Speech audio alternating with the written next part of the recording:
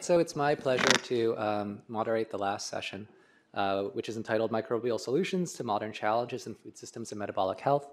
And this session was put together thinking about what kinds of insights and uh, challenges as well as opportunities arise from using microbiome-associated tools in things like the environment and our understanding of, of human health. And to start off with, uh, we have a, a professor of anesthesiology here from Duke, Paul Wischmeyer, who will get started. As you may note from my title on the screen, I'm an anesthesiologist by training, and so you may wonder what the heck is an anesthesiologist doing talking to you about nutrition and the microbiome. So maybe we should start there, and, and, and maybe we should start with something that, that I think will affect all of our lives, no matter what walk of life we come from. How many of you in this room have had surgery before? Raise your hands. Um, if you didn't raise your hands, you will.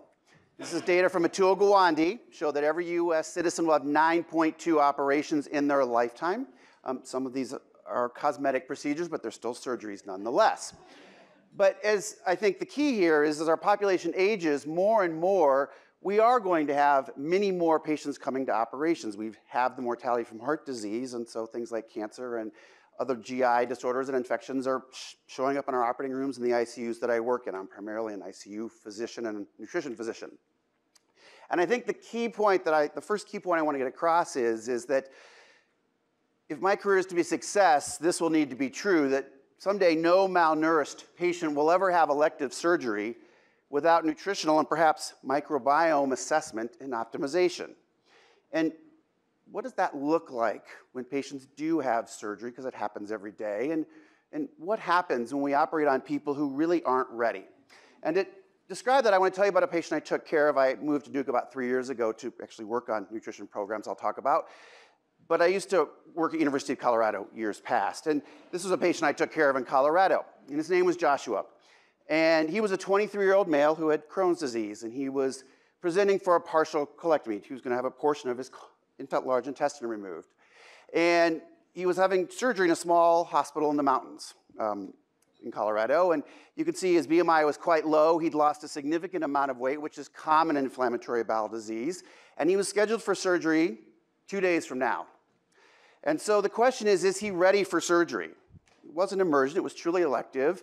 Um, and, and should we maybe have waited and tried to optimize his nutrition and perhaps his microbiome? Well, that didn't happen, of course. It still rarely happens today. And he went to surgery. And he did well for the first two days after surgery, but the third day, unfortunately, he developed a cough and he got a fever, was diagnosed with pneumonia. It's a common postoperative complication. Unfortunately for Joshua, this progressed to something much more severe. Not hours later, he developed septic shock and went into what we call disseminated intravascular coagulation. His coagulation system failed. He started to bleed, he got a major blood clot in his abdomen. And so the physicians at the small hospital in mountains didn't feel they could care for Joshua anymore, and they flew him down to us at the university to care for him. And we took Joshua to the operating room and worked through the clot and, and stopped the bleeding and, and dealt with the issues that he was having. And he came back to me in the ICU looking, unfortunately, like this with his abdomen open and his lungs quite injured on a ventilator, um, which unfortunately is due to the shock and, and, the, and the, the bleeding and the other things he was going through. And Joshua went through a lot of the things our ICU patients, I'm actually attending in the ICU this week, and I was lucky enough to have someone cover for me today. Um, and so this is what I see every day, and our patients go through other things. Clostridium difficile is a real problem now. When I was a resident, not so many years ago, I saw one case of this a year and nobody got very sick from it. Now it's one of the, if not the fastest growing iatrogenic cause of death in the country, not at least in the industrialized world. And he got this, unfortunately, in his remnant colon. It's due to over aggressive antibiotic use and, and the reality of what aggressive bacteria can do. And he also, unfortunately, got this not just before surgery, but after as well. So he never had a nutrition assessment. Nobody ever asked him simple questions like, have you lost weight and is there something we can do about it? It takes an act of God to start tube feedings in the ICU in our hospitals in the US and the nurse going to lunch to stop them. And so he got fed very poorly throughout his care with us. Um, they waited for these magical bowel sounds, which we know mean nothing for those of you who don't practice clinically. That's something that we worry a lot about that we shouldn't. And unfortunately, his stomach didn't work when we fed him because we waited too long. It's not the surgeon's fault. And he vomited and he was off even longer. And so he got fed very poorly. He lost a lot of muscle mass and was not able to be weaned from the ventilator and had to have a tracheostomy. Remember, he's only 23. Luckily, 48 days later, despite all these things, Joshua was discharged, not to home. Our ICU patients that stay like this kind of length, more than a week or two, don't go home. They go to rehab centers. And we as physicians applaud ourselves. We, we saved him, and I suppose that's a, a good thing, but was he a success? So I asked Joshua the day he left the ICU what he thought about his life, and he said, I'm glad I'm leaving the ICU, but a few concerns I have are one is I can't feed myself or swallow. I have to learn how to swallow again because my muscles are too weak. He couldn't stand, walk, or dress himself. He was too weak to get out of the bed. None of these were his number one complaint. This was. He couldn't change the remote control on the television in the room because his hands were too weak. And so he goes to rehabilitation, and his dad calls me a month later, and I was happy to hear from him. And he tells me Joshua was walking in the hallway trying to get strong again, doing his exercises in rehab, when suddenly he had gripping chest pain, and a feeling of doom came upon him. Moments later, this 23 year old was found in cardiac arrest on the floor of the rehab center. He got 40 minutes of CPR. And, and, moments later, he was declared dead. What did he die of? Anyone who spent time in a surgical ward will know he got a clot, blood clots from immobility, and he got a massive pulmonary embolus. But what happened to him? He should have lived, right? He was young. We, we treated all of his illnesses per se. We got him out of the hospital. What did he really die of? He died of this. He died of malnutrition and dysbiosis. And this happened right under my nose, and I'll never forget him. And so his nutrition and his microbiome were neglected and were truly emergencies in this patient. And so we, as caregivers and scientists, need to find better ways, and we need to do better in how we care for patients. And I guess the real question as we think about that is how common is this? Is Joshua just a story I'm pulling your heartstrings with, or is this common? The reality is it's common. No matter where you are in the world, one out of three, if not half of the patients in any hospital, anywhere on any ward are malnourished when they come to the hospital. And they don't get better nourished when they're with us. The food isn't that good. This is HCUP data, which is a large database the government keeps that we can mine for information. And we know that when you actually clinically diagnose people meaningfully, one out of three people on average is malnourished in the hospitals in the US. Only 3% are ever coded or diagnosed in actual practice. So only one in 10 malnourished patients are being recognized. More troubling, of those patients diagnosed with malnutrition, only one in 10 of those actually ever get any meaningful nutrition treatment. And so one in 100 malnourished hospitalized patients are being addressed for their malnutrition we would advocate it's the most pressing silent epidemic we face in the hospital today because it's not being recognized and it's definitely not being treated. GI surgery, like Joshua, is even worse. Two out of three patients coming for any GI surgery are severely malnourished and at risk. Is it related to outcome? We know that it is. GI cancer surgery is a rapidly growing operation we see a lot of here at Duke and other places. If you haven't lost weight before you have an oncology surgery, your mortality is very low. If you have lost weight, you're five times more likely to die in that operation. This is an infographic we made with DCRI for a guidelines paper I was honored to chair the group for. And again, two out of three people coming for GI surgery are malnourished and it increases your risk of complications and death significantly. But only one in five hospitals, and this is a survey I did with a medical student, we surveyed all the academic surgery programs in the US, only one in five have a formal nutrition screening program of any kind. Although all the surgeons you ask will say it, it would help patients if we address their malnutrition, they would have better outcomes. The data is clear. In fact, those little Boost and Ensure drinks that you can buy. Every dollar the hospital spends on those, we showed in over a million patients in a health outcomes database, saves $52 in hospital costs. There is no more cost effective. This is better than the influenza vaccine, to give you some sense of the outcome and safety. But only one in five malnourished surgery patients ever see any nutrition intervention at all. And I think the reason it's so ignored is this. The mortality that relates to malnutrition in hospitalized patient doesn't happen in the hospital. We're good at saving people keeping their hearts going and their lungs moving. But they die months later at a much greater rate. Joshua got out of the hospital, but only lived a month. So we need to be better, but how do we do that? And, and, can we change this? And we believe we can. We believe that we must train patients for surgery, or as Tony's doing, perhaps a bone marrow transplant, sitting in the back, for the marathon of their lives, because that's what bone marrow transplant or surgery really is for these patients. We call it the marathon du table because that's the reality. And of course, it takes a combination of good nutrition, exercise, and perhaps some of the things we can learn from athletes, which is really where a lot of my research besides microbiome work goes, and how we can apply athletic um, nutrition and exercise principles to the training surgery or cancer patient. And then obviously optimizing the microbiome and assessing it. So at Duke, we've tried to address this. It's one of, the, one of the big reasons I came to Duke was the opportunity to do this. And we have a preoperative nutrition clinic that could have taken a patient like Joshua and probably changed his outcome. We phone screen all 60,000 people having surgery with some basic nutrition questions now. It just started about a year ago. And they come to our clinic. We have an RD now dedicated to this, the hospital pays for. Tony's doing this in his BMT patients as well. And then we have a continuity of care service that screens them with a screening tool we built, brings them to a clinic with a dietitian. They're followed by our inpatient dietitian team, and then we have a post-op follow-up program as well. And we assess a whole range of things, not just nutrition. We do muscle and fitness assessments, microbiome assessments before and after surgery. And we've developed scores, and in fact, we even CPET test our patients like an athlete would be tested to perform at his best. This is a score we built. If you're having surgery, these are questions you should ask yourself or the person you love or your grandmother or friend. Um, nobody should have surgery without these questions being answered. If any answer is yes, you have no business having elective surgery without being nutritionally optimized. Nutritional optimization looks like this. These are pathways we built for our clinic. Um, and in fact, these aren't very specific objective questions, so we're trying to find objective tools to do that. Ultrasound fixes everything else in the hospital. We're finding it actually addresses malnutrition as well. We have muscle-specific ultrasounds that can take the muscle, biopsy it in a way, and make it look like this.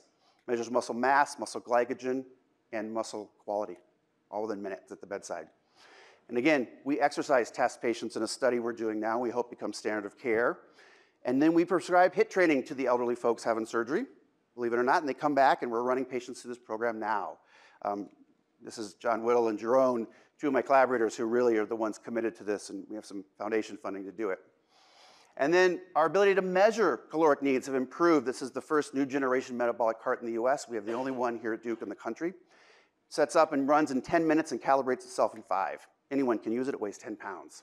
It's a large cry for those of you in the nutrition world who've seen the very difficult to use metabolic carts that weren't accurate and didn't really work. But we're here to talk about the microbiome as well, so let me focus a bit on that for, for the key part of that portion. And so again, I think this is a key part of our optimization of patients, both in their preparation and recovery. And this is what I always tell my patients, it's bacteria are something you're taught to eradicate and get rid of, right? We spend lots of time on rounds talking about our antibiotic choices to kill off all the bugs in your body. The reality is the majority of them probably 100 trillion of them are the best friends you could ever have, and you wouldn't want to get rid of them. Perhaps you'd want to put them back, right? And we're starting to do that. We're starting to prescribe stool. There's books about how you can take it yourself at home. The kids at MIT will sell you poop pills that they claim will make you smarter. The FDA has some thoughts about that, but nonetheless, it is happening. And it, and it is saving lives, right? This is a patient you might have heard of. She got a lot of national attention. Her name was Caitlin. She was in a car accident in Atlanta. She's 20 years old. She was in the hospital a month about to go home when she got C. diff. It was very severe. She went multiple rounds of antibiotics. She was about to die from it. She got a stool transplant from her mom. Within two days, she was better. And it never recurred again. So it's saving lives already. And this is the hypothesis that we, at least in my work in the ICU, have been working on, that antibiotics and surgery and illness ablate or dysbiose the microbiome in our patients, both in the mouth and the gut. And perhaps we should give it back. We should be resodding the lawn that's blighted by illness. Because the reality is it's important to remember that the world we live in is not a human world, but a microbial world. Only those few little families there in red are actually multicellular organisms. Most of the life on Earth is bacterial. And so why should you care about your microbes? For the nutrition people in the room who don't think about the microbiome that much, or maybe haven't read about it much before. Have you ever wondered why you get bitten by all the mosquitoes in the woods and your wife, husband, friends don't? It's not because you're sweeter, it's the bacteria that live on your skin that drive that. Bacteria attract or repel mosquitoes with the substances they make. In fact, we may find out someday that the microbes actually determine who we have sex with and marry. We know that's true in fruit flies, at least for now. Perhaps in humans too, we know the gut microbiota of the fruit fly determines its mating preferences. And so the microbiome plays a pretty big role in your lives and potentially your health, and that's the question we want to address. So where do our microbes come from first? I think this is important, right? If you have a pet at home, your microbiome looks different than it does if you don't have a pet at home. But of course, our microbes begin at birth, right? They come from our moms. And for thousands of years, we we're all born by vaginal delivery. And so we acquired a stool, oral, and whole body microbiome that looked like mom's vaginal flora. That's what we're supposed to tolerize our immune system to. Unfortunately, of course, nowadays, sometimes you have to be born by C section. Babies born by C section for the first two years of life will resemble mom's skin flora. Babies born by C sections have more asthma, more allergies, linked to all kinds of other issues, obesity. Rob Knight, who was the partner I worked with in Colorado that got me into the microbiome, when his child was born by C section, he kicked everybody out of the delivery room and smeared mom's vaginal secretions all over the baby. It's probably the most important thing I'll tell you today and the only thing you'll remember, but you should do that if that happens to you. And his child's never had an ear infection. So there you go. And it's also diet, right? There's a lot of things in the Western world that have changed a great deal from what our microbiome looked like when we were hunter gatherers, and we had a much more primitive diet and didn't take antibiotics as children. And although eradicating infectious disease has been a great success of modern medicine, that has been met with an incredible rise in autoimmune disease at the same time. We are not tolerizing the things we should be tolerating to. We are too clean, we don't let our children eat enough dirt. That's why we have more autoimmunity, like the IBD that led to Joshua's surgery. Our brains are affected too. We know that microbiota affect our brains, and our brains affect our microbiome. Stressors in modern life are perhaps different than they used to be, perhaps much more dramatic than they previously were, and have a great effect on our microbiome. So again, the brain talks to the gut, and the gut talks to the brain. I'll show you later the microbiome make neurotransmitters which affect the brain, and our stress affects our gut. And so do changes matter? Well, we know in children who get antibiotics, they do in the first six months of life. If you get antibiotics, you're much more likely to be obese, have allergies, have heart disease, lots of illnesses can be tied to that. And so the question then becomes, can we fix it? Can we change the microbiome to prevent or treat disease? Well, we've started to do that already with fecal transplants. But that really is the question. When we become ill, especially critically ill like Joshua was, numerous things change how our bacteria respond to us. Just getting an opiate actually makes your bacteria more aggressive. It senses your stress. Vasopressors, antibiotics, low phos levels, lack of nutrition, all make your bacteria more aggressive, as well as the psychological stress of illness. So the idea might be that we need to restore balance to our patients and resod the lawn that they need. And the literature for probiotics is growing rapidly. I need to update this curve. It's even much greater than it was before. There are many of our foods, probably useful to know if they're beneficial to us or not. And there's plenty of books about them as well. And so, what's the science behind them? And I was lucky enough to train in a gentleman named Eugene Chang in John Alverdy's lab at the University of Chicago, where while I was there, actually, John Alverdy discovered quorum sensing. It's the idea that all of us have pathogens living in our colons. All of you have this right now, Pseudomonas and other things that sit quietly waiting for you to get stressed. And then they sense your stress and attack. And they express toxins and virulence factors. And some of that's because they lose the commensal flora. Something like a hurricane in New Orleans, when all the people leave because of the hurricane, the looters come and start looting. They bring their rowdy friends. That's what bacteria do when all the normal bacteria are killed off by antibiotics. And then if you put them back, perhaps the rowdy friends go away. And that's the idea of restoring balance to the gut and working with the quorum sensing. What's the clinical data for this? Well, we know that probiotics in large meta-analyses in JAMA can reduce antibiotic-associated diarrhea, and it doesn't seem to matter which one you get, which shows you the pathogens are not stronger than the people that live in the city. They're much more likely to leave when the good people come back. And this is a large effect 40% reduction in antibiotic associated diarrhea if you take a probiotic. Works in ventilator associated pneumonia. Patients without ventilator associated pneumonia. This was actually a friend of mine's, Kay Grant um, from the NIH. We're given lactobacillus GG, one in the smear in the mouth, one in the stomach. Reduced ventilator associated pneumonia by half in an NIH funded trial. Reduced C. diff as well some meta-analysis data my group did looking at all the trials in the ICU, we found significant reductions in infections now in a large number of patients. One of the challenges is all these studies use different probiotics at different doses and in different patients. And so our data is still pretty heterogeneous. And we have data for this in surgery, we have data for this in trauma. There's a growing body of data for this benefit. But we never had the definitive trial until this one. This may be a trial some of you are familiar with, Nature paper looking at pro and prebiotics given to thousands of children in India infants, looking at infection and other infectious complications in Indian infants across the continent of India. 4,000 healthy infants randomized, monitored for 60 days. And you can see the synbiotic, the prebiotic probiotic combination markedly reduced respiratory infections and sepsis in these infants. Got five pages in Nature, not Nature this or Nature that, but the Nature. It was a compelling trial. Significant reductions in the primary outcome that were quite dramatic. So we, we realize now this is possible, A, and beneficial, B, and we need to do this now in acutely ill patients. Perhaps we can get the same kinds of outcomes. This has started in C. diff. Clostridium difficile actually, as well as responding to fecal transplants, seems to respond to prescriptions of probiotics as well. And randomized trials have been meta-analyzed for this, reduces C. diff 64% giving a probiotic. We have it on formulary here at Duke. We do give it. Um, it works in adults and children. There's lower and higher doses that work. It doesn't seem to matter the bug you give, the probiotic you give. Again, C. diff is a weak organism. Anything that's commensal that surrounds it will make it go away. Um, it, it grows in the absence of others. And so, again, stool transplants are highly effective. They have a very high cure rate, although they have a 5% autoimmunity recurrence rate or autoimmunity occurrence rate, so they have some risks. They're not perfect yet, but they do seem to be able to restore balance. So, where do we go from here? We thought large clinical trials of probiotics would be the way to go, or perhaps stool transplants or poop pills. We went to the NIH with a proposal for this, DGDK, and they said maybe not so much.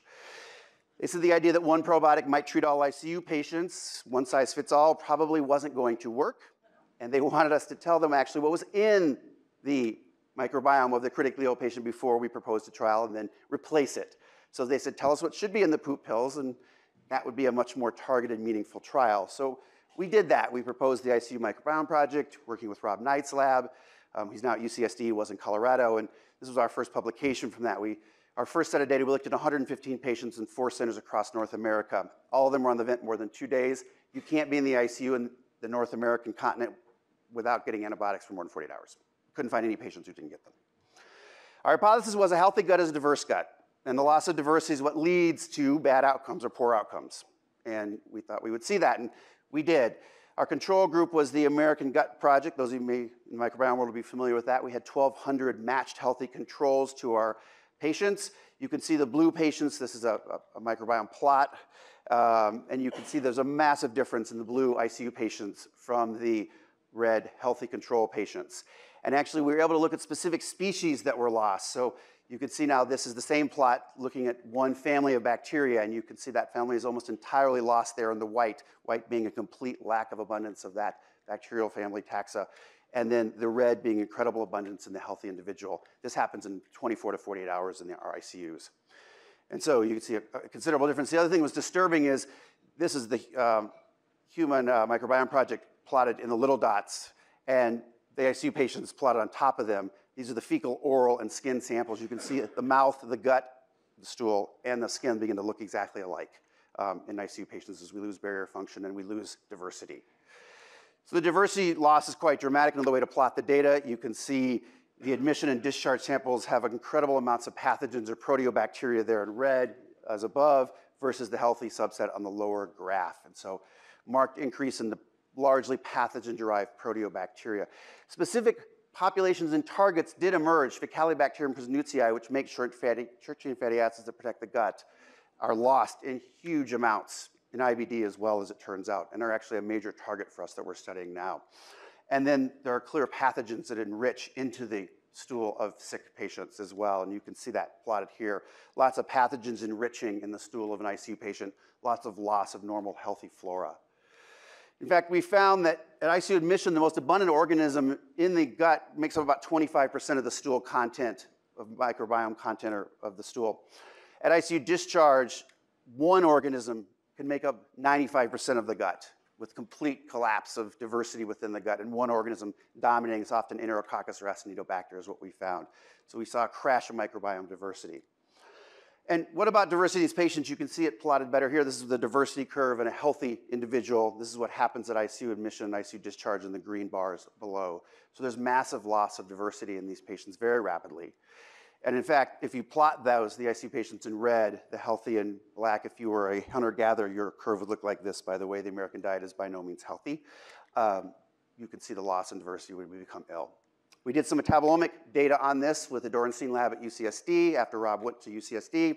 Metabolome, as you can imagine, fecal metabolome now in the ICU patient is dramatically different. We had two different preservative solutions that showed us two different, you can see the uh, control group had two different sets, and so we're still working through the methods. But things like Apache score and acute illness scores showed dramatic differences in the fecal metabolome. The sicker you were, the higher your Apache score is. It's a acute illness score. The much more different your metabolome was. We found some interesting targets there too. We could see all these things, of course, in the fecal stool metabolome. We also saw this Pseudomonas quinolone signal. It's an inherently made bacterial protein. It's an antibiotic protein bacteria make to kill other, other bacteria. Um, it's not been described much in humans until very recently, um, but we saw it in a fair number of patients and found it correlated fairly well with the patients that got bacteremic, got C. diff, or got either um, within the hard outcomes we were measuring. And so we, we think this may be a target that we could use to look at high-risk patients and predict who they are. So our results, some of them, as it turns out, one of the biggest correlations to death was large amounts of Klebsiella growing on your skin, which I can't explain, but we found it interesting. Um, bacteremia, loss of barrier function, we think this is part of it. Mycoplasma growing in your mouth seems to go up in large amounts. The question then came, is it the antibiotics or is it the actual illness itself causing it? Which is the driver of the loss of diversity and the microbiome changes. So we created an antibiotic pressure score from a Lancet publication a few years ago. We found the oral samples are related to antibiotic use. So your oral microbiome changes seem to relate to antibiotics. Fecal was not. So the gut seems to change in relation to the stress as well as probably the antibiotics. And so the dysbiosis is more than just that. But it did generate targets. Many of the things that are targets in IBD are targets in the ICU we discovered.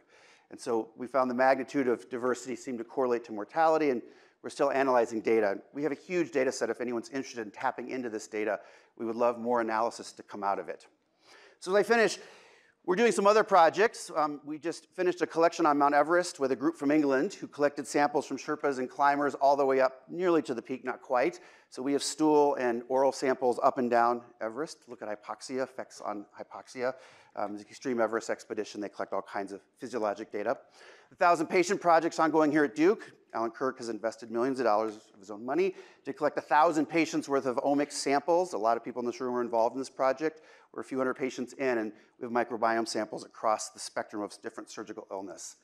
And then the last piece I'll talk about is we've begun to look at the effect of the microbiome changes on depression, anxiety, and cognition. We know that actually not just probiotics, perhaps psychobiotics exist. They make neurotransmitters and affect how our brains work. Our gut has a big effect on our brain.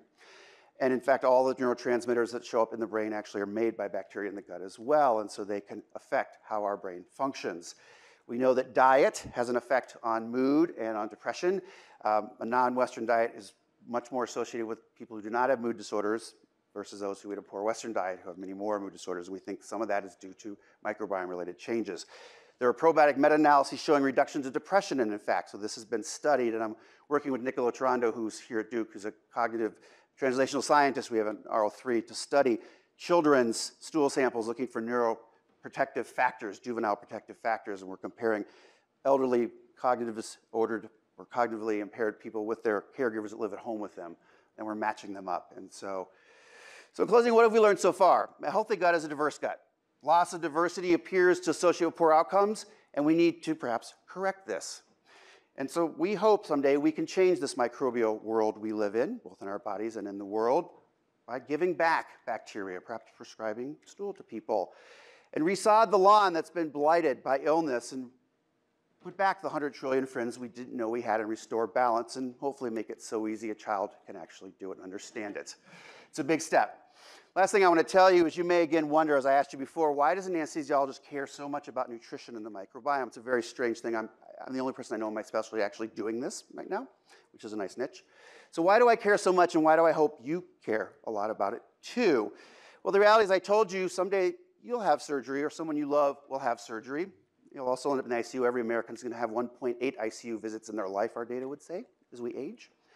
And so someday this will be someone you care about or yourself. Unfortunately for me, I've used up a lifetime of some of your surgeries and ICU visits. This was me at age 15. That picture I use isn't actually Joshua, it's actually me. This is why Joshua means so much. I had IBD as a 15-year-old, was in the hospital a year, on TPN for six months, got 40 units of blood in two weeks, my colon perforated, I ended up with short bowel syndrome, 23 surgeries later. So this is an everyday part of my life, which is why I care so much about it. Not just a few years ago, I ended up in my own ED, in my own ICU, with bowel ischemia in, in the operating room. This was actually me in my own emergency room. Went from looking like this, visiting my grandfather a month before my surgery, to looking like this 17 days later. I dropped 20 kilos in 17 days on TPN. No one's immune from this, no matter how fit you are. Which is why nutrition is so key. I couldn't walk down the hallway after the two weeks, I was so weak. So this is a very personal issue for me because I tell my residents I'll be in the OR again and someday that 2 a.m. phone call, the guy with the bad abdomen they don't want to see, that might be me. Or someday that might be you or someone you care about. And that's why I hope this is something we can all care about. And realize no patient should have elective surgery without having these things addressed their nutrition, their fitness, their microbiome. And that surgery and illness create a unique opportunity, right? When people come for BMT or they come for a big operation, this is the marathon of their lives. And it's a chance where they'll stop smoking, address their diabetes, change their diet, exercise more, and perhaps permanently change their lives. We have clinics that address all these things. It's the teachable moment in one's life that we feel we have an obligation to do preventive medicine in. So again, I feel we have to train patients and optimize them like we would an athlete for the marathon of the table. And of course, this behavioral change has to start with us. So I dream of a day when all our patients will have a chance to be the best prepared as we would like to propagate across the nation and the world. Because if that was true, patients like Joshua might still be alive and be with us today. And so with that, I'll acknowledge Rob Knight. This is him sampling microbiome on a Komodo dragon at the zoo. He samples his children every day. And with that, I'll leave you with what we have left to do. So thank you.